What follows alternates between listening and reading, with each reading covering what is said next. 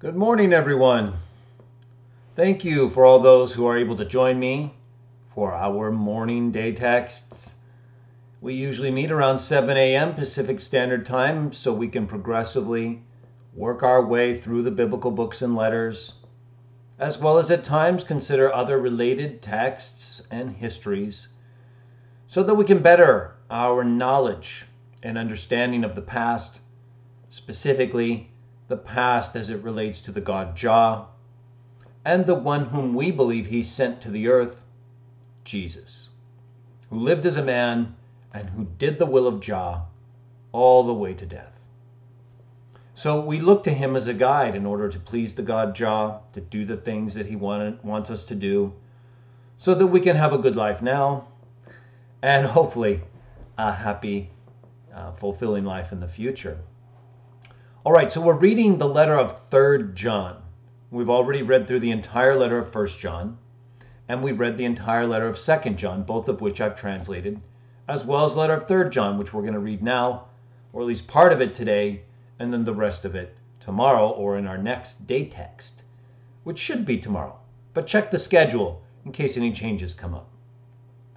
So, the letter of 3rd John, as you know, with each new book or letter that we consider, I go over the, the manuscript support or the reasons why we have confidence in the text that was written about 2,000 years ago. So, when it comes to the letter of 3rd John, it's represented in Codex Sinaiticus, Vaticanus, and Alexandrinus, 4th century, 4th century, 5th century, respectively, as well as the Codex Ephraemi Rescriptus of the 5th century, Uncial, or all capital letters, uh, manuscript 0251 of the 6th century, and of course, there are other texts that also contain portions of, of 3rd John. But that's a, um, a basic summary of, of some of the best evidence that we have for the letter we're going to read. I've updated the description below so you can take a look at that in terms of uh, the manuscript support on your own. And now let's take a look at the text. So I'll be reading uh, verses 1 through 8 of 3rd John.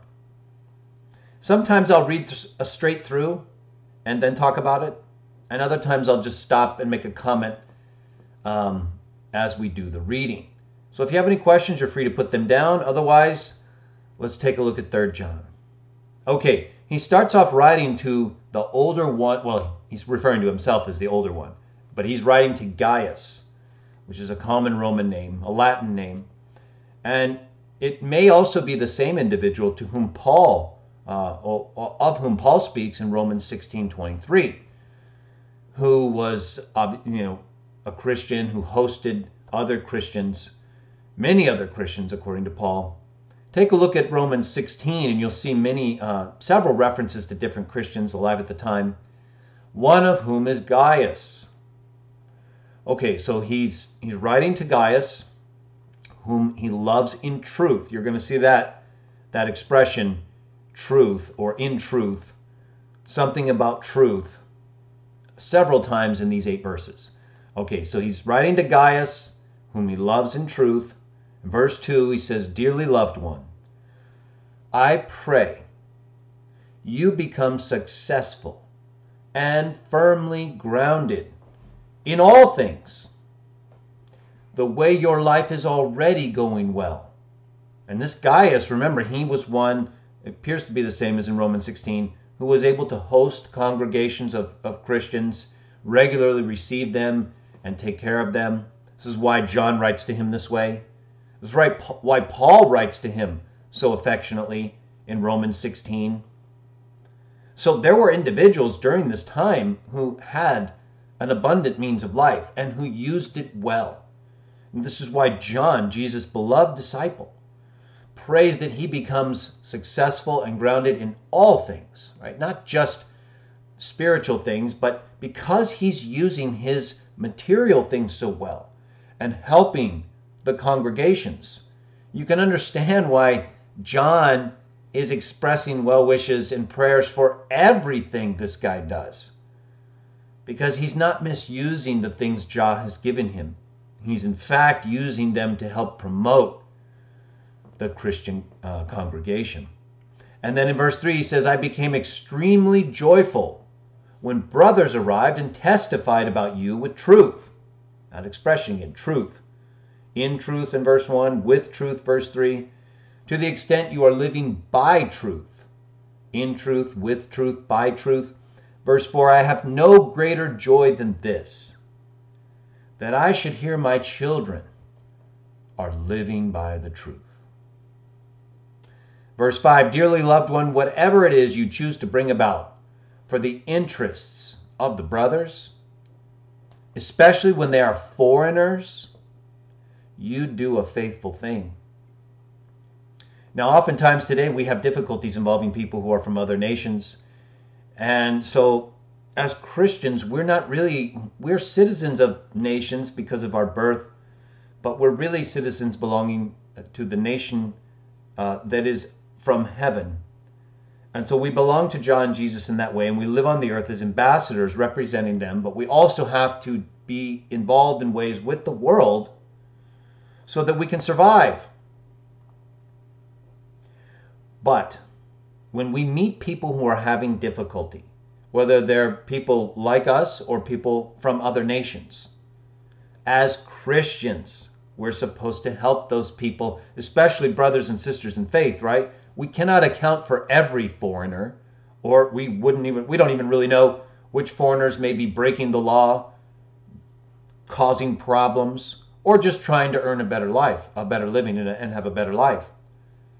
But we know when people are Christian or they're trying to do or please God, do God's will, please God, follow Jesus, they're already going through so much difficulty that as Christians we should do everything we can to try to help them, especially if they're foreigners, because they're going to have an even more difficult time in a nation that is even less familiar or friendly to them. But we don't do that to such an extent that we then bring shame on the name. In other words, we don't promote breaking the law or abuse of other people. All the, the very basic things that none of us would really want done to us. Okay? We don't promote the things we don't want done to us, nor do we encourage others to hurt other people by breaking the law or damaging them in any other way. But not everybody does the, those things. There are plenty of people who go from one nation to another for various reasons and who are just trying to be good people, good citizens of that nation, and cultivate love or affection. So we know Christians are more likely going to be people like that. We still have to evaluate them, right? We cannot accept every single person without some evaluation. And that's why John, right here, he says, verse 3 I became extremely joyful when brothers arrived and testified about you.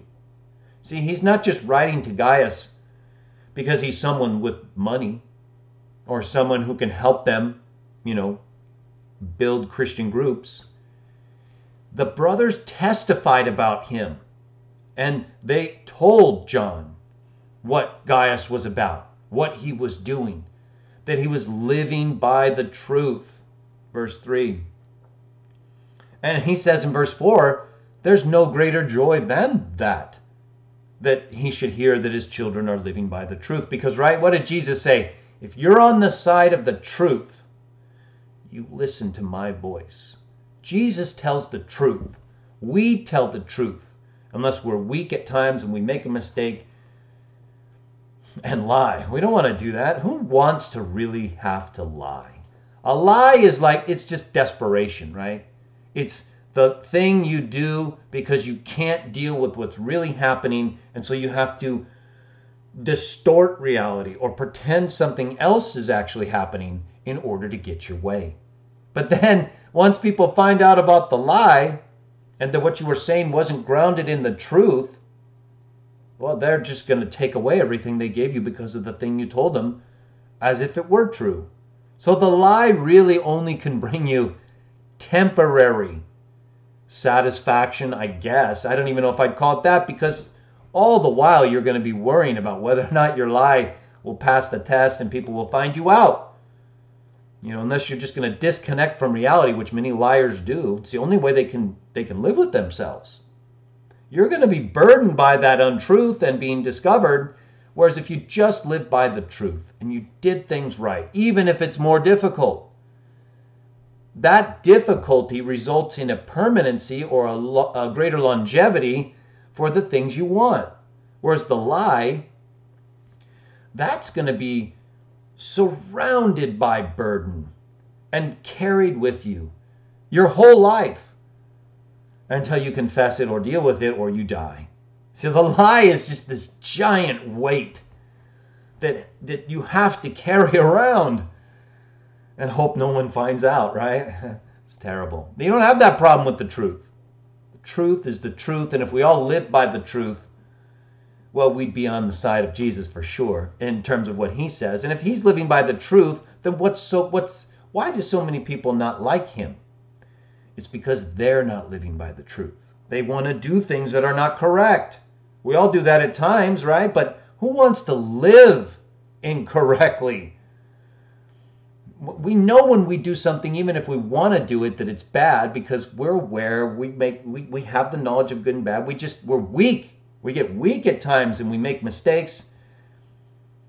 But who wants to live like that, right? Who wants to live weak with mistakes burdening you all the time? No, that's why we confess our sins, mistakes, we move past it, we try to make corrections, or we don't burden ourselves so much if it's not such an obvious sin, right? What other people might not do or choose to do.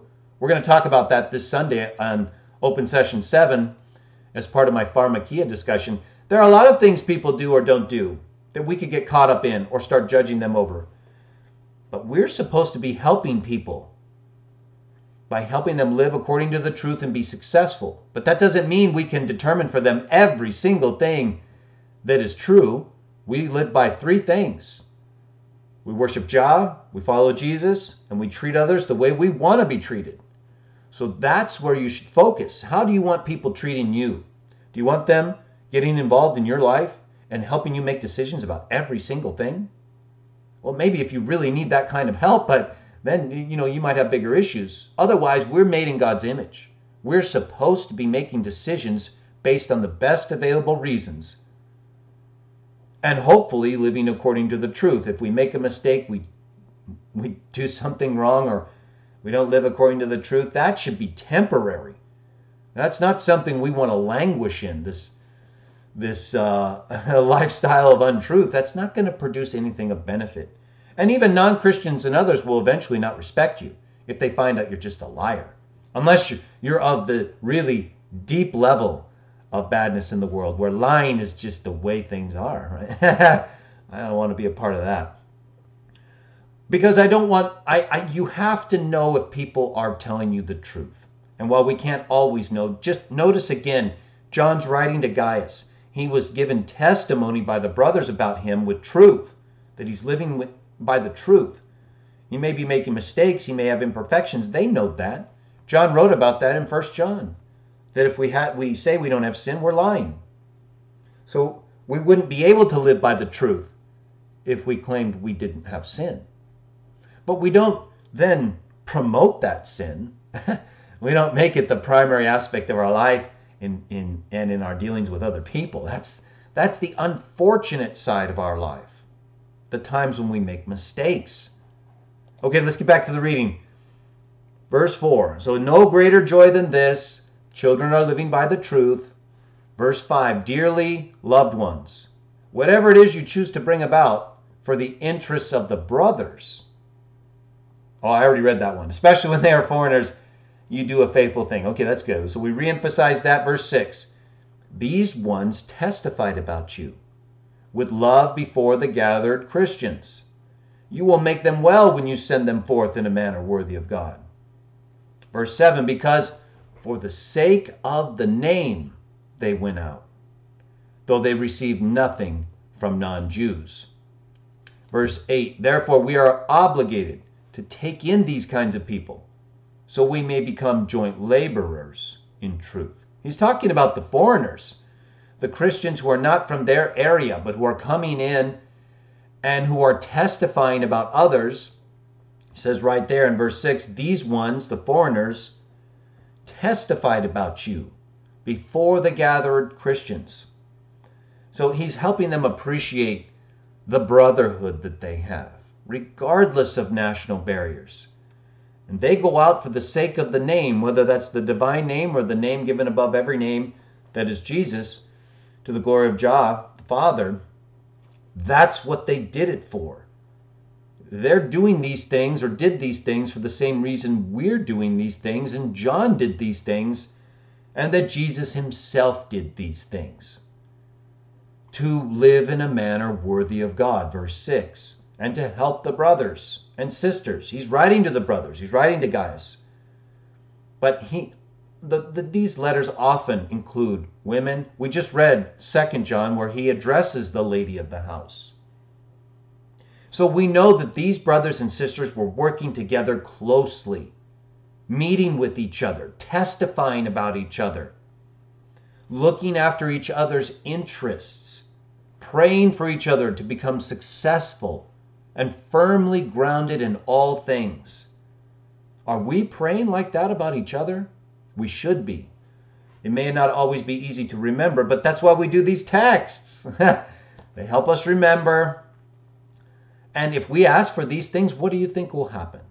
Jah listens to us.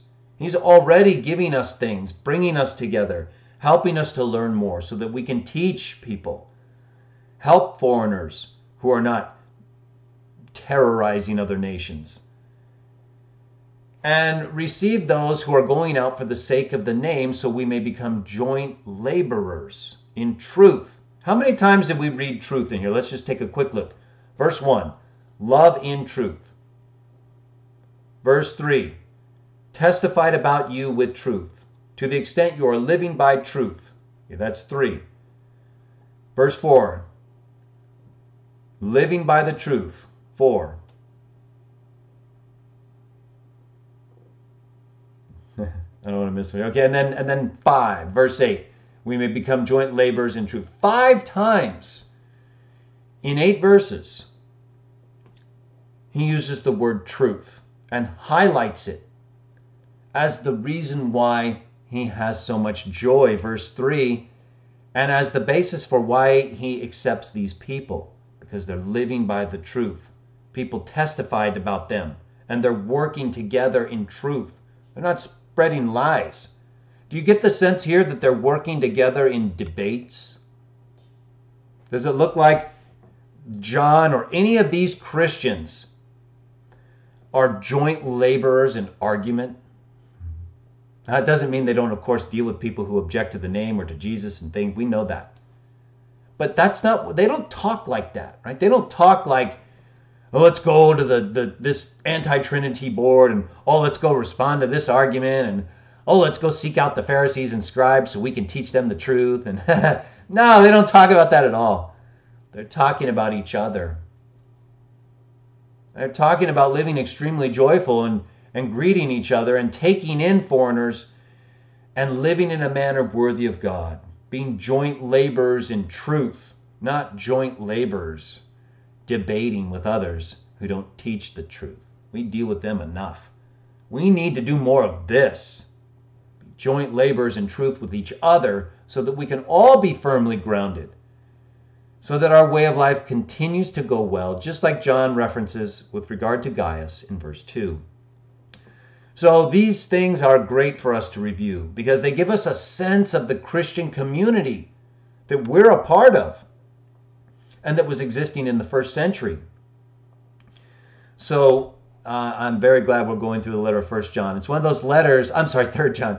One of those letters that you really often do not read because there's so much else to read, and it's one of these small texts tucked into the back of the New Testament. And so oftentimes it's just not a featured document. But for such a small document in terms of content, it contains a lot. So, I believe we will be able to um, finish up. Oh no, actually, I'm not sure. We may uh, we may spend two more days in Third John, or I may finish it up tomorrow, and then we'll be ready to go into. Um, we have the letter of Jude actually, and then the letter of Revelation, or the the Revelation, not the letter of Revelation. And so we've got a lot of good material coming up. And then this Sunday, I'm going to do an open session discussion where I will just basically talk about a couple uh, initial topics and then consider your questions. And one of the topics I will deal with is the Greek word pharmakia and associated issues involving um, medicines, drugs, and different things that people put under the umbrella of pharmakia. So that'll be one of the topics that I discuss. And let's see.